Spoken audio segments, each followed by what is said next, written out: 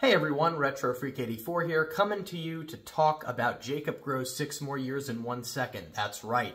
The next update is here after six grueling years. And if you want to be the first to see what happens to Jacob, if he even gets out of the fridge, you are going to be there this Friday, Friday the 13th. Spooky.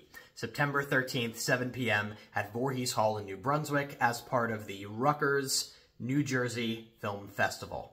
Now, this is at 71 Hamilton Street, 7 o'clock. You can buy tickets at the link below, or you can buy tickets in person with cash or Venmo.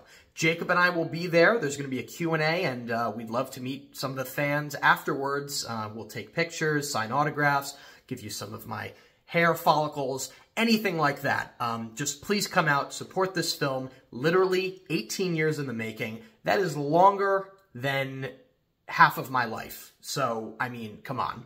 That's some effort. And I guess that's why they put it in this film festival. So, again, it's not going to be on YouTube for a while. So if you want to be the first, I will see you this Friday, Friday the 13th, Voorhees Hall, New Brunswick, New Jersey. Hope to see you there, and uh, onward.